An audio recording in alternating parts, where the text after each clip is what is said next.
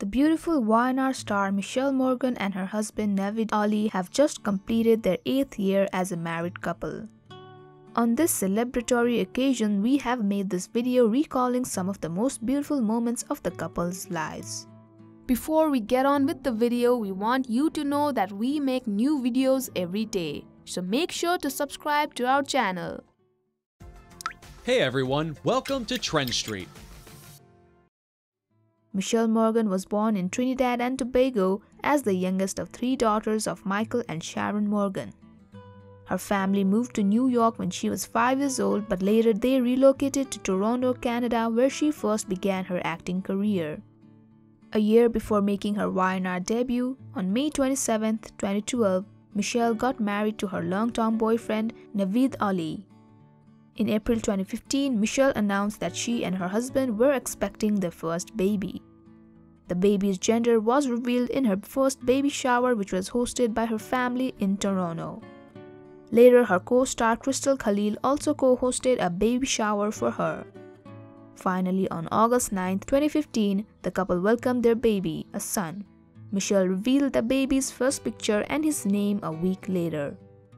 As a new mom, Mishael loved sharing everything about her baby. Here are some significant posts about Niam which she shared on her Instagram handle.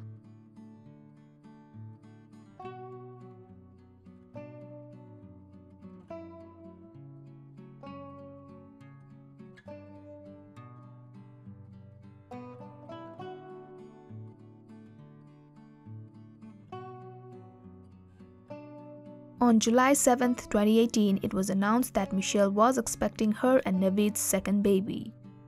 A week later, on her birthday, she made an official pregnancy announcement, and at the birthday party, Niam revealed the baby's gender.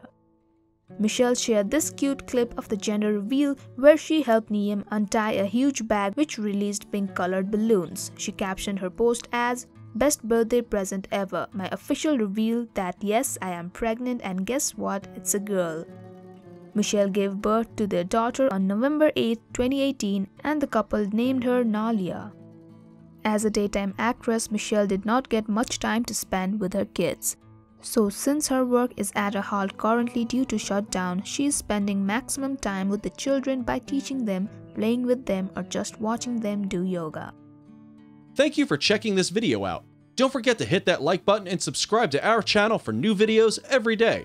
Turn that bell notification on if you want to hear from us and comment down below if you've subscribed and we'll make sure to reply and thank as many of you as we possibly can.